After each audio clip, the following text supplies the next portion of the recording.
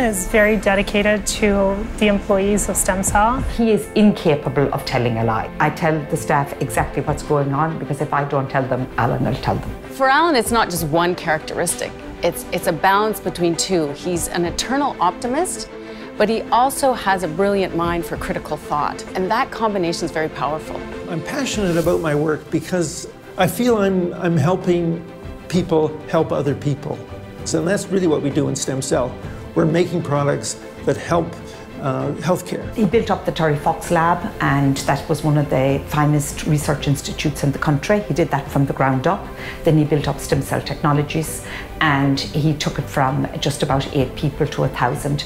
And anybody that does it twice has enormous talent. This is not luck. Allen has the ability to see 10 years ahead of the rest of us, uh, while also being able to really focus on what's happening in the present and making things happen quickly. At STEMCELL Technologies, we make tissue culture media for growing blood forming progenitors. And that's important if you want to measure the number of stem cells that are going into patients or to understand how those stem cells go wrong and form leukemia. So it's it's the media to grow those cells and uh, characterize them and understand them. He funded this all himself and uh, he has mortgaged his house on a number of different occasions. So he, he has taken on a lot of personal risk. I was in the Terry Fox lab when Allen decided that he really ought to start selling some product. He should sell some media because scientists really needed it. He set up manufacturing in the hallway. And the raw materials, there was nowhere to store it, that was in his garage. In STEMCELL, we hire only the best people. It so happens that 57% uh, of our employees are women, and 50% of our uh, executive group are women. And that's because they are really good. Allen has always encouraged an environment where anyone can come work at STEMCELL that is trained in the right field, regardless of their ethnicity or gender or any other factors. We all need to feel we belong, and when they have a connection with the CEO, it garners loyalty, and it's a very powerful force of cohesion within the organisation.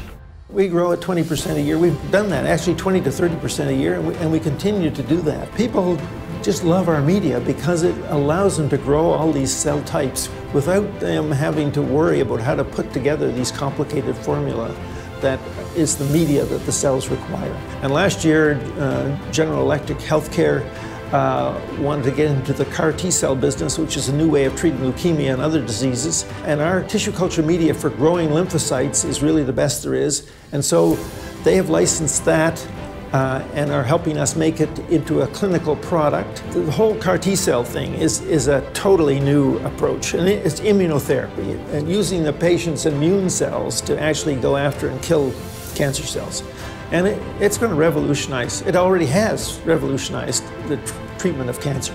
He has a great vision. He wants to make a difference to the world, and it's a message that rings true, and he lives it.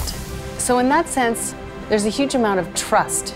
You know that uh, he'll promote the right thing, but he'll stop the wrong thing. Well, I think inspiring people to go into business and making a success of it is, is the future of Canada. We have to become more productive. We have this wonderful healthcare system, uh, but what we don't do is produce a lot of the products that go into it, and we buy those in.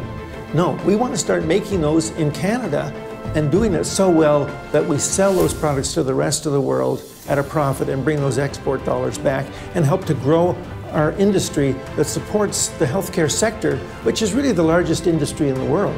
He sees the need to build a knowledge economy here and he just isn't talking about it. He has built a company and hires a lot of highly trained people.